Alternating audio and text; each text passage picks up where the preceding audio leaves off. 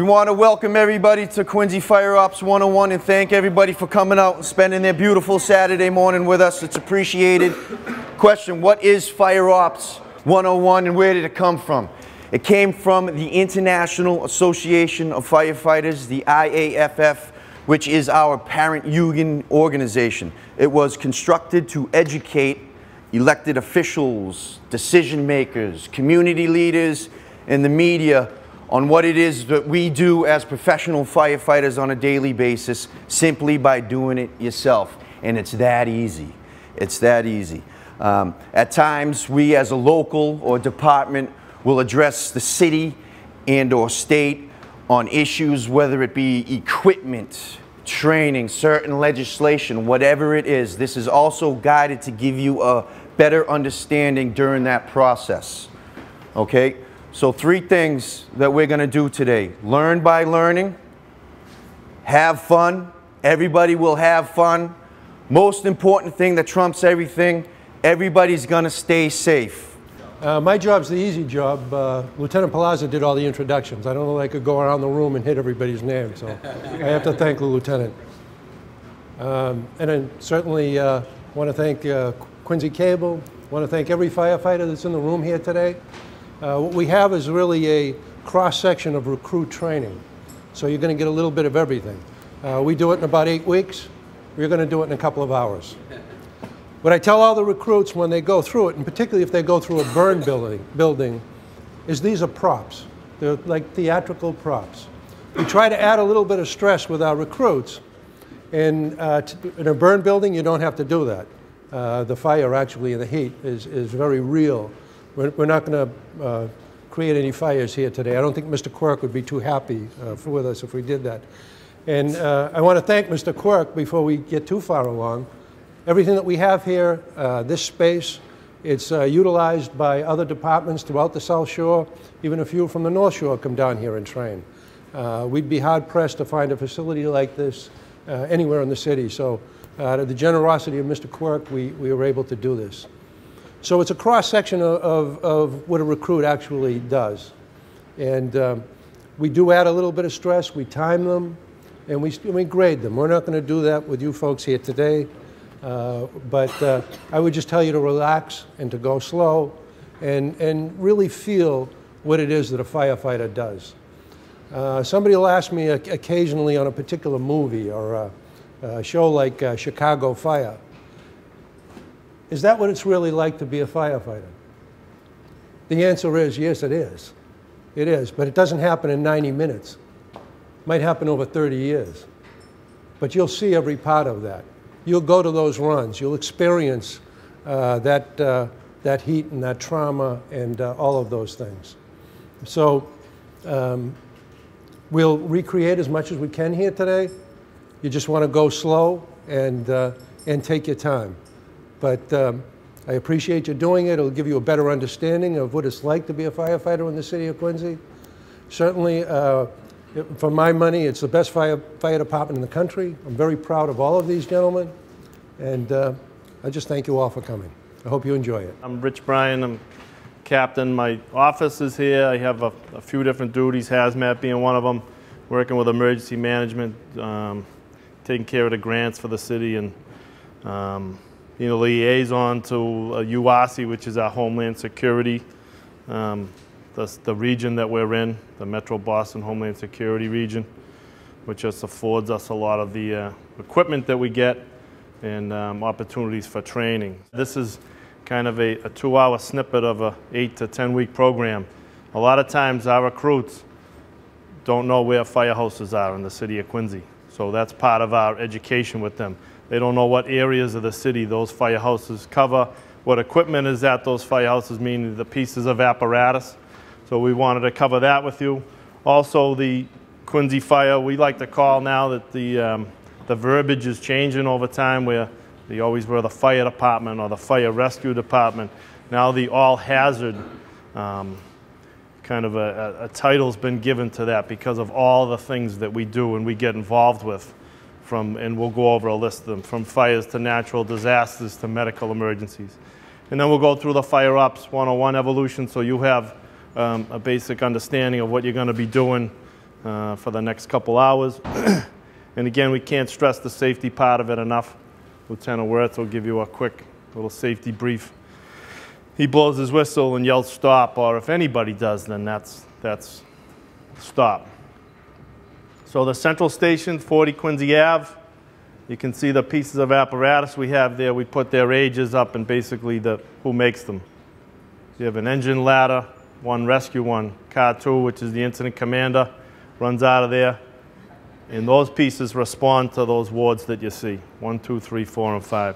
Engine one and ladder one are, are mutual aid pieces, meaning they go out of the city to other communities when their incidents become a little bit bigger than they can handle, either for coverage or going to the incident to help them out. The Atlantic Station, 311 Hancock Street, engine two in our brand new piece, 2014 ladder truck. We appreciate you guys voting for that and pushing it through.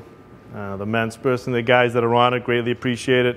The wards it serves, and also ladder five is a mutual aid piece. I think basically just goes to Boston when they have a fifth alarm or greater. Quincy Point,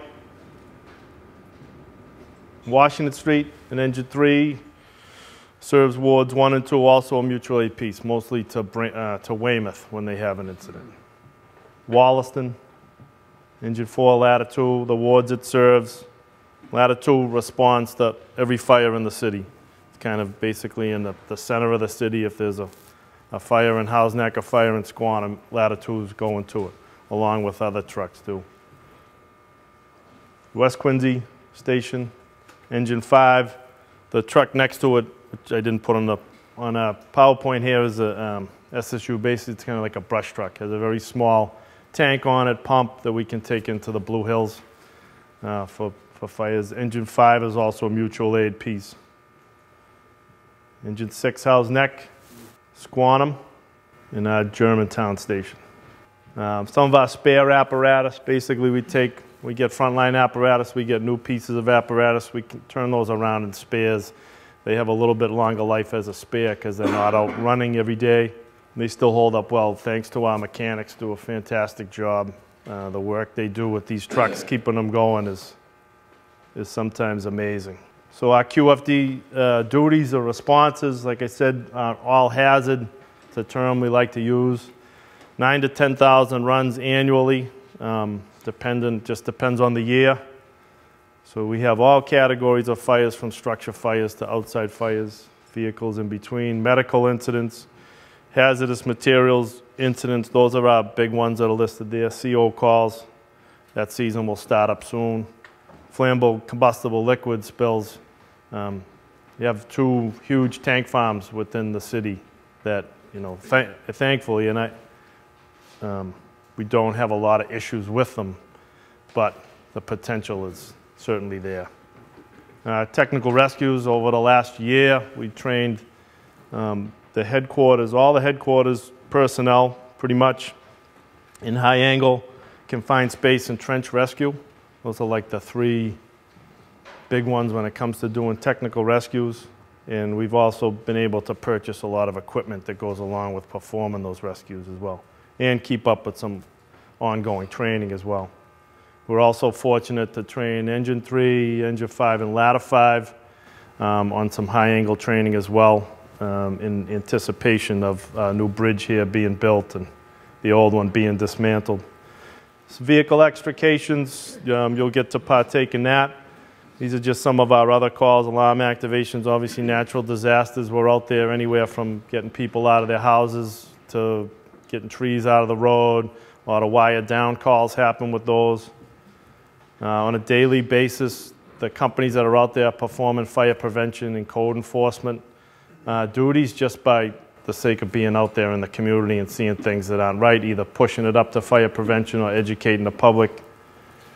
Ice and water rescues, we're obviously surrounded, pretty much surrounded by water here in Quincy, and uh, electrical emergencies as well.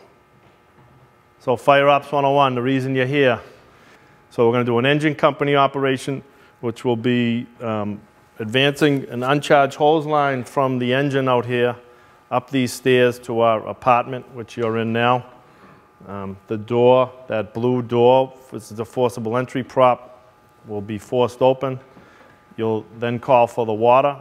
The line will be charged, and then you'll have to move the line over to the window and play the water out the window.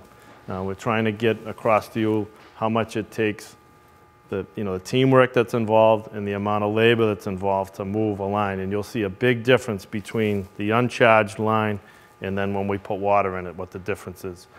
Um, and then when you put the water out the window to feel the, the reaction of all that water leaving that hose. And the ladder company operations will have another crew outside that will get split up. Um, we're going to set the aerial up to the side of this window.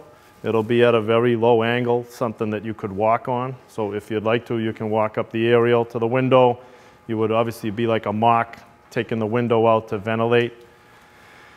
there will also be a crew that will force that um, blue door for the engine crew when it gets up here. So they'll have to take an axe and a tool we call a Halligan and break through that door in order to open it, simulating opening up the door of an apartment for that engine crew to attack the fire. And then we have a couple of ground ladders outside that we can throw. We have an unbelievable prop in the back corner of this. And after you've done going through it, if you all wish to participate, we'll turn the lights on and show you our maze out back. The firefighters don't get to see it because they have to train in it. And once you've seen it once, you get a mental picture and it takes the effect of it away. But for you guys, we'll go through it. It's a pretty easy maze run. You'll go in on a, what we call a right-hand search. So you, you're on your hands and knees. We, you'll be in your gear. you basically go along the wall feeling with your right hand until you find the victim. When you find the victim, you'll do a 180 and come out on your left hand, basically the same way you went in, but in reverse. And you'll find your way right out. That's how we search rooms in zero visibility. So a, right-hand search, I can go through an entire room and get back to the door I came in if I stay on that one hand, or if I know enough and have been trained to switch halfway through and come out on my other hand.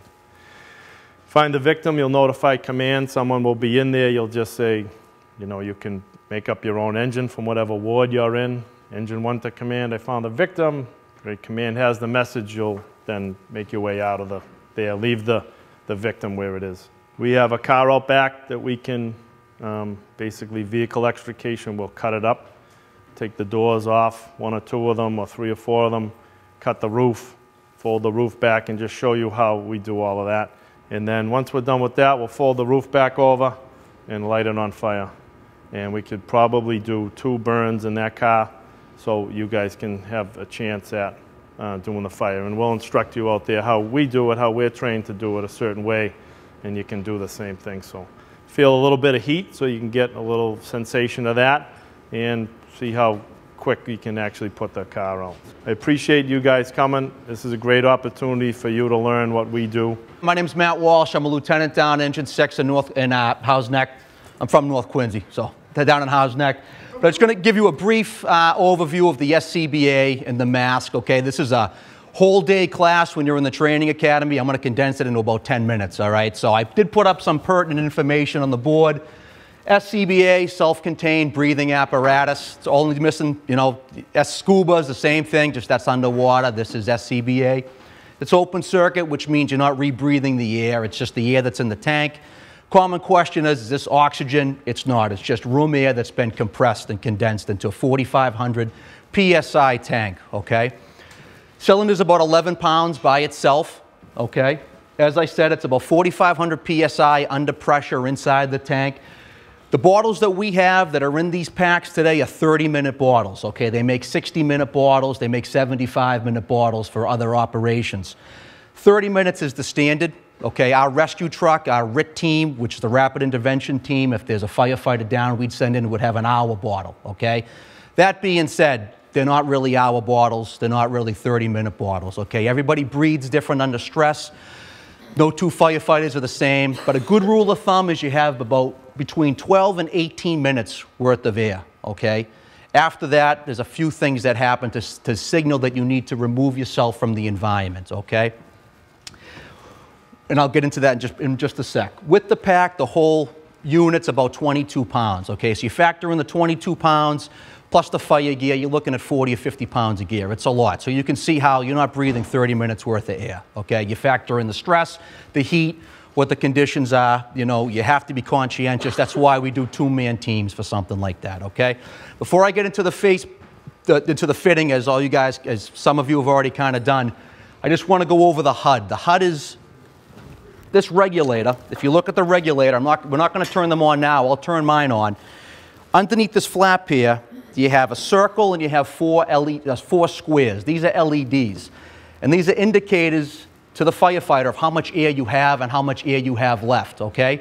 When you first turn these on, you're going to have a, um, a battery check. They're all going to light up, okay? Then it's going to go down to two green. Two green solids mean you have a full tank, okay? Again, 30 minutes, give or take, worth of air. As you start to breathe in, it's going to go down. The third one, it will go down, I'm sorry, the two green is full, then it's going to go down to three quarters, which is a solid green, okay? From there, it's going to go down to either an orange or a yellow color. That's going to flash. That's halfway. And then quarter, it's going to go down to a quickly, a, um, rapidly flashing red light in addition to a vibra alert. You'll notice the vibra alert, okay? There is a, um, a, a, diaphragm inside the regulator that'll start to flap against your face. It makes an unmistakable sound. You'll know right away what it is. That means immediately you'll have to leave the environment. Let's just do a quick fitting of the face piece. I don't want to take any more time up. You want to put your chin into the bottom of the face piece, okay? And you want to take the yellow mesh and pull it right over the top of your head.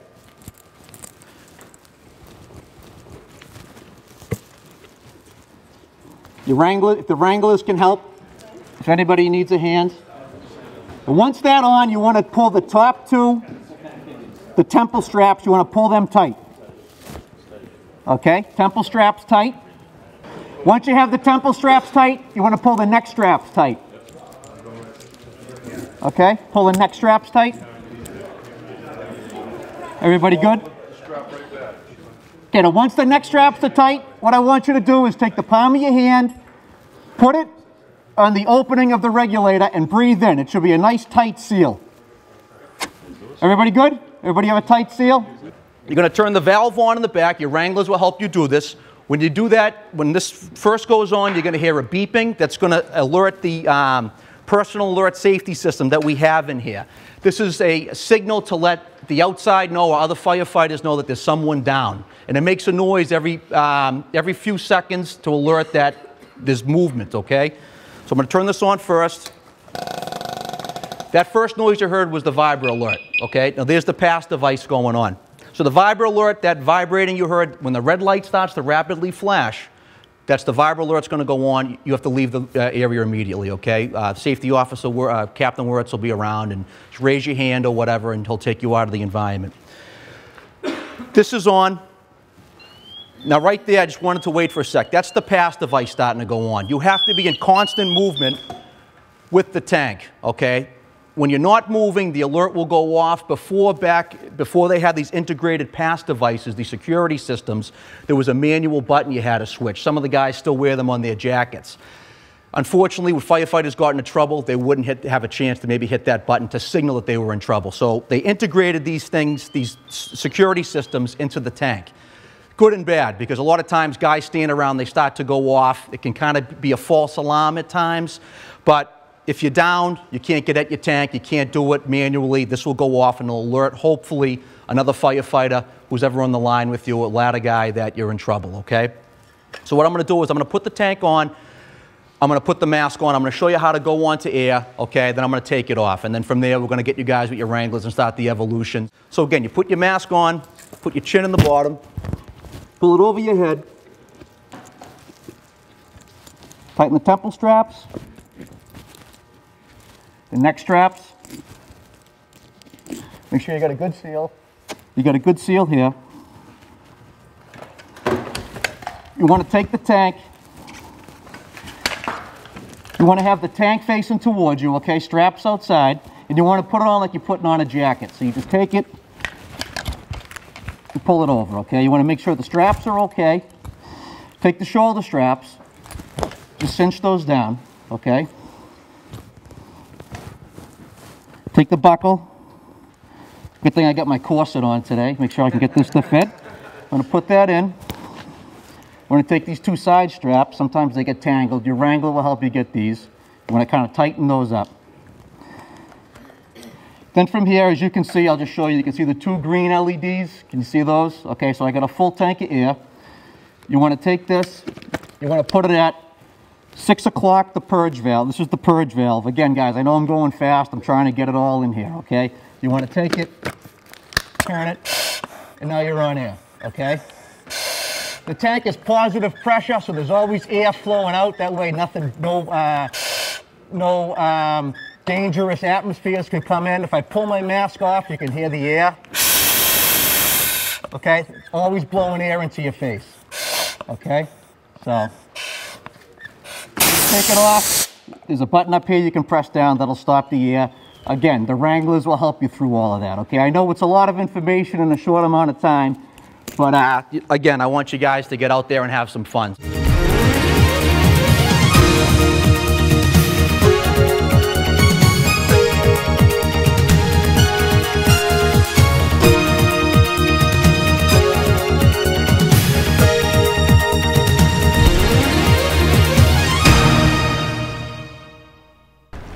Is a rescue truck, for those of you who don't know, Rescue One. Rescue One doesn't carry any ladders or water, it's a rolling toolbox, okay? The Rescue One's chief duty is to rescue, okay? Now in the scenario we ran on the other side there with the engine and ladder, if the rescue was in service, the engine would fall in line. I mean the rescue. What would happen is the uh, engine would be off first, running their lines like we did, getting water going. Ladder would be ventilating, forcible entry, and the rescue would be rescuing people, correct? Right? So we'd be right on the heels of the engine company, and we'd be doing a search. Unfortunately, with the rescue out of service 70% of the time, the other companies have to pick up that duty, okay? So you see how tough it is getting in and out of the building. Now imagine having to split two people off of those companies to do a search. Difficult, right? But when we have a three or four man rescue team in that scenario, life safety is number one. We're searching. So, that being said, rescue entails a lot of different, other than house fires and everything else, we do a lot of car accidents. Search and rescue, collapses, anything that the city requires us to rescue people. Pretty simple. So what we laid out here is tools for car extrication. The scenario we're going to run now is a car accident with people trapped. Rescue would be the first off. The chief truck in line in an accident. First truck needs to be the closest because the, the tools that we need need to go to the people that are trapped. Engine would be the second. Pull their line off, get the water ready in case the car catches on fire, obviously. So what we're going to do now is we're going to cut this car up. We're going to simulate that a per person trapped. All the tools that I laid out here are what we're going to use. Okay, we have jaws on the truck. If you want to turn around, you see those those big tools there with the uh, orange and green lines. That's hydraulically filled lines that are going to run those tools. Okay, you're going to be amazed at how those things tear apart a car. Also, over here, what we have is a scenario where a car is on its side, obviously. This is what we find more often than not. Very rarely do we have a car accident that looks like this, okay? So what we have is a Paratech strut stabilization, stabilization system right there. There's one on the other side. What that does is it's three points of contact and it stabilizes the car in place. Obviously, when we get off in a car accident and there's somebody in that van, we're not going to push the van over and say, okay, now we can get them out. You have to get the person out the way we find them. So we need to stabilize. So that's why that's there. You can step up, put your hands on the tools.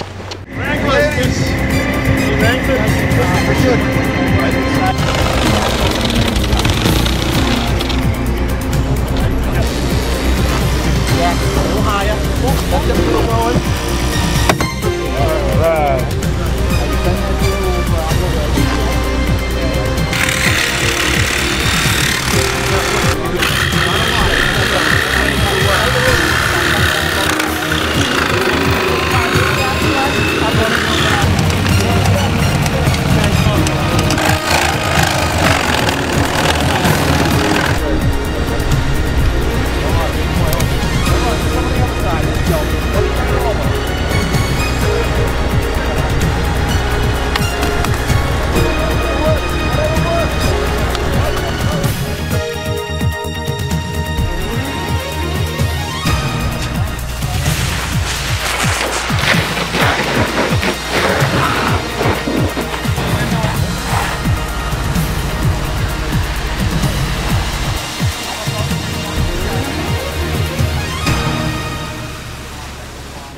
You know, I think this was a really great opportunity, and a big thank you to Local 792 and the Quincy firefighters and Chief Barron for inviting the elected officials here today. You know, I've spent some time in a cruiser, I've spent some time sitting at dispatch.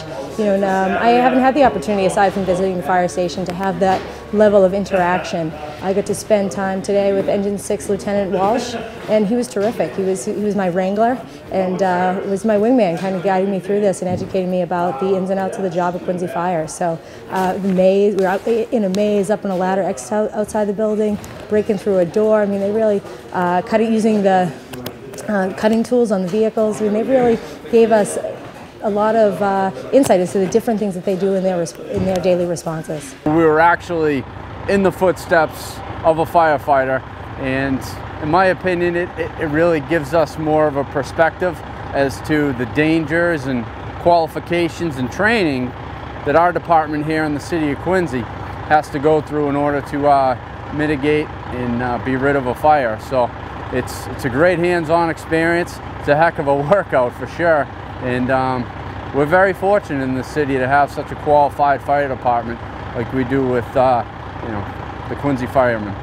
This was a really eye-opening experience uh, to be here with uh, some of my colleagues in government and um, working with the Quincy Fire Department. And I'm so grateful for having that opportunity and grateful uh, for, for them, even more appreciative of, of what they do every day. You know, there's an old expression, when you hear, you forget, when you see, you remember, when you do, you understand. Um, that really has taken on meaning for me today, um, seeing how they, they do all of the different um, uh, things that they do in terms of whether it's fire suppression, uh, extrication from uh, vehicles at a uh, motor vehicle crash, uh, search and rescue, um, just, the, just the sheer weight of the equipment um, that has to be carried, and, and thinking in terms of uh, the, the obstacles that they face, uh, the weather that they do this in, whether it's a 90 degree day in the, in the summertime or below zero in the winter with you know, with water that uh, freezes up and, uh, and creates hazards for them. So uh, this is a, a, tremendous opportunity uh, for all of us today, and uh, I'm just grateful for it. And I, like I said, more of an appreciation of uh, what they do and what they need to, to do their job, the equipment and the manpower. Um, and you know, none of nothing that technologically that's available today can replace manpower. Um, that's really the bottom line, and so very grateful for the QFD uh, for what they do every day. This was probably one of the most um, uh, extraordinary experiences, I would say, in my council career, where you actually have the opportunity to, to spend a day in the life of someone that works in municipal government and public safety that does it as a career. And uh, the simulations that we did, whether we're on the ladder truck or in the engine truck or you know, operating the hose at, at, intense pressure or making our way through a dark maze to try and find and rescue somebody up in their bed.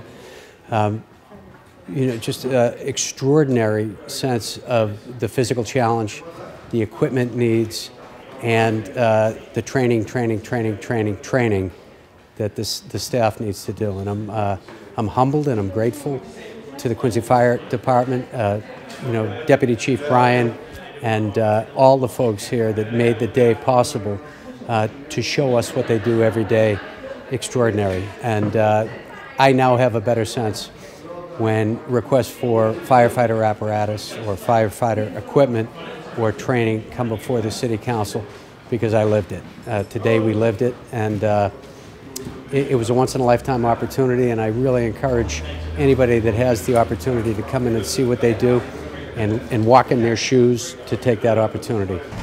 Left. Left. Left. Doorway.